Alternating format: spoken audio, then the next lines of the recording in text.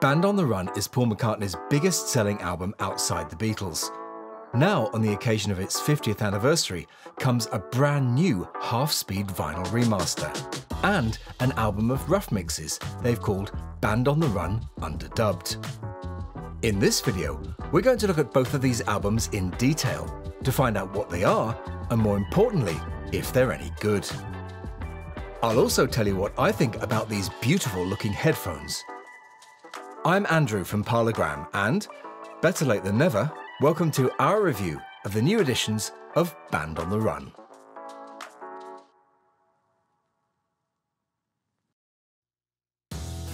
Band on the Run is an album which needs no introduction, but if you want one, check out our recent in-depth 50th anniversary video about it, a link to which is in the description. Bringing something new to the table with this album can't have been an easy task, after all, it was already given the full archive treatment by MPL back in November 2010. Personally supervised by Paul, that set was well received by fans, although some felt it still lacked important elements from its initial development. Fast forward 14 years, and another piece of that puzzle has been added, in the form of this the underdubbed mixes, or how the album sounded before Tony Visconti's orchestration was added. But before we get into that, Let's first have a look at this, the new 2024 half-speed vinyl remaster, and find out if it deserves a place in your collection. Now, the headline news for this new half-speed remaster is that they've gone full US on it, meaning that it includes Helen Wheels, which of course wasn't on the original UK edition. It also replicates the US cover design, which besides listing Helen Wheels, has the photos of Paul, Linda, and Denny on the back in a different order to that of the UK original. And also, unlike the UK edition, which has Paul McCartney and Wings on the spine, the spine on this new edition mirrors the US one, which reads just Paul McCartney, Band on the Run. Now, none of that is an issue for me. I'm more concerned with how it sounds.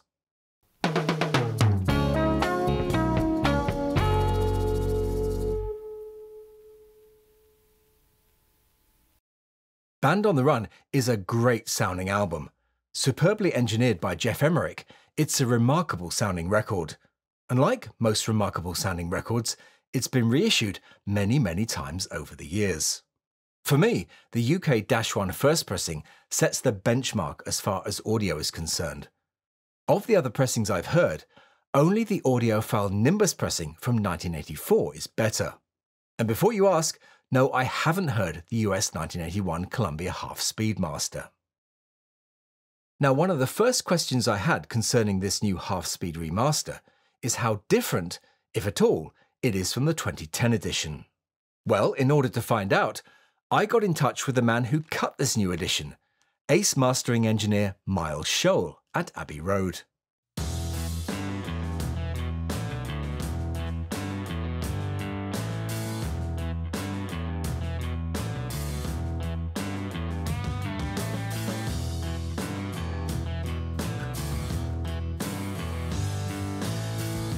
Told me that MPL see the McCartney archive collection as their gold standard. So although the versions he works on are always freshly remastered with half-speed cutting in mind, MPL like him to keep the sonic signature of the mastering similar to that of the archive collection.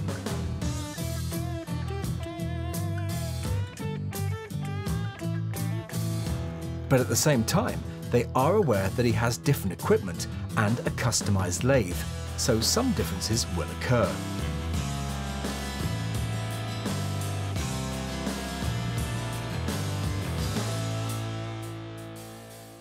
As with all of the half-speed mastered editions which come from Abbey Road, it's a premium pressing and is manufactured at Optimal in Germany, widely recognised as one of the best pressing plants in the world. So its mastering and pressing credentials are second to none, but what does it actually sound like? Well, I'm happy to say that compared with the Sublime UK first pressing vinyl, this new remaster really shines. And that's not surprising, because that UK first pressing was used as a reference for this cutting. Put side by side, its waveform is just as rich and dynamic as the first pressing. The original US pressing, just for comparison, isn't bad, it's just slightly more compressed. My copy was clean, flat, and quiet where it should be, and sounded terrific throughout. Yes, it was cut from a digital source, but you'd be foolish to discount it for that reason alone. Digitally cut vinyl done right, as in this case, can sound terrific, and I'd say this is an upgrade, albeit a subtle one, over the 2010 vinyl. And it's those subtle differences which I think make this new remaster the best sounding yet. If you already own a UK original pressing or the 2010 archive edition and you're not a fan of Helen Wheels, well, maybe this isn't the one for you.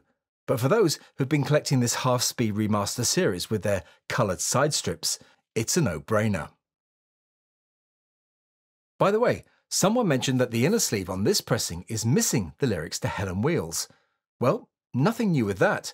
They were missing on the original US inner too. That's something I think they should have fixed. The CD, on the other hand, which I didn't buy, uses exactly the same mastering as the 2010 edition, so don't expect any upgrades there. The album has also been mixed into Dolby Atmos by Giles Martin and Steve Orchard, which I listen to on Apple Music via my AirPods Pro. Now, whilst I love my original 8 track quad mix of this album, Atmos takes it to a whole other level. Giles has really delivered with this Atmos mix, which sounds great on headphones, but must be incredible in a dedicated room. These Atmos mixes are just getting better and better. They're putting a lot of effort into this medium, which bodes well for future releases, and the idea of investing in some proper kit to appreciate them fully is starting to make more and more sense.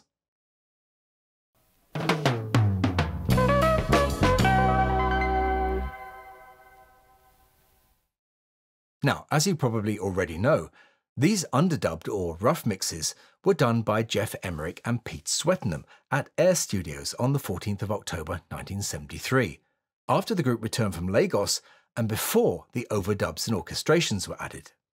Now, many so called classic albums stripped of their overdubs and embellishments don't fare particularly well, but in the case of Band on the Run underdubbed, it could be said that this is a case of less is more. Now, if there's one negative thing to say about Paul's records, is that he does have a tendency to overproduce. But the stripped back nature of these tracks really highlights the strength of the melodies and the quality of the musicianship. And the vocals shine through brighter than ever before. And what incredible songs they are. Let's take a closer look at them.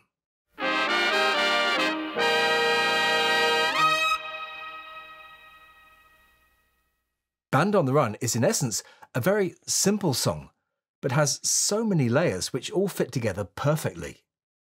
Paul's vocal doesn't sound as smooth as it does on the release version, but I think that suits the vibe and is, like most of the tracks here, refreshingly different. Another thing to note here is that the underdubbed album has a different track order to that of the released album, which is also refreshing, and I think makes for a more interesting listening experience. Like Band on the Run, Mamunia's stripped back organic sound highlights its strengths. It's such a simple song, so beautifully recorded and delivered. No Words may not be everyone's favourite off this album, and it's also one which doesn't yield as many differences as some of the others. But there are some subtle details which make sure it doesn't disappoint. The underdub mix of Jet is one of the tracks which really shines on this album. Paul's vocal is up front and centre, and what a vocal it is! And I love the bonus vocal ad lib at the end, which laid out the melody for the song's jazzy ending. This mix also brings out Paul's drums much more, and those power chords are to die for. However, I still find that single, almost constant note from the Moog synthesizer slightly annoying. Bluebird is a song of such quality that you could do almost anything to it and it would still be magical. Even the removal of Howie Casey's masterful sax solo doesn't hurt it, but even though it's not there, my brain hears it anyway.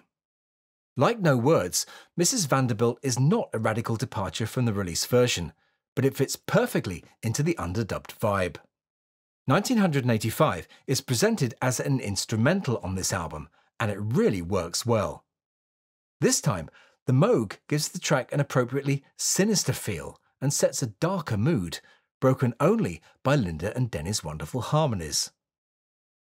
Picasso's last words, with its loose, laid back late night vibe, really benefits from being underdubbed. The vocal harmonies are so cool here. And although I love the orchestration on this track, it's not missed, and I think the song works well without it. Like Jet, the Lennon-esque Let Me Roll It is another highlight of this set, with Paul at the top of his game vocally. It's not my favourite track on the original album, but it's my favourite underdubbed mix.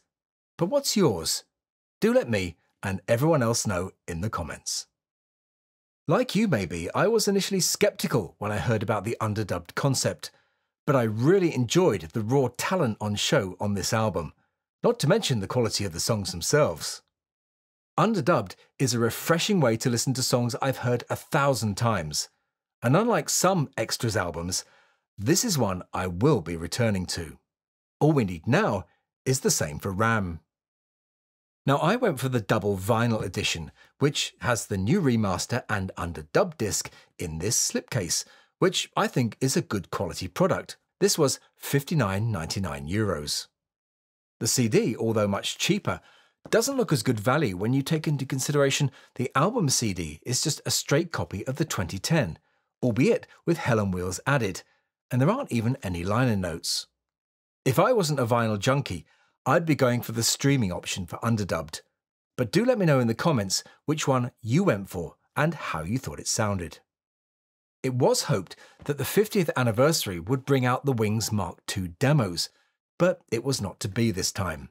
Those are now the holy grail as far as the story of this album is concerned, so let's hope they emerge someday. At the time of writing, Band on the Run is number 16 in the UK album charts, so let's hope that this encourages MPL to consider doing a bonus disc for Venus and Mars, and get the archive series moving again. Now, if you watched last week's unboxing episode, you would have seen me not only unbox the album, but also this beautiful looking set of headphones. These are the 99 Classics from Meze Audio. After spending hours of listening not just to Band on the Run, but many other albums too, on both my main system and through my phone, I can honestly say that these are the most comfortable pair of headphones I've ever used. These pads, which are replaceable by the way, are so soft and comfortable on my ears, and there's enough space inside the cup so that your ear can breathe and not touch the inside of the speaker. And this elasticated band means no more fiddling around with sliders or buttons. They fit perfectly. Just like that, although better without a hat. Not only are they the most comfortable, they're probably the best looking too. Now, I'm a real sucker for dark wood, and these gorgeous walnut ear cups are right up my street. These gold accents may not be everyone's cup of tea, but that's not a problem, as the 99 Classics are available in silver too. If you'd like to see more detail about the cabling and what's in the box, check out last week's unboxing video, a link to which is in the description. Now, of course, the big question is, do these headphones sound as good as they look? Spoiler alert, yes they do. The 99 Classics' major strength is that they are incredibly musical headphones.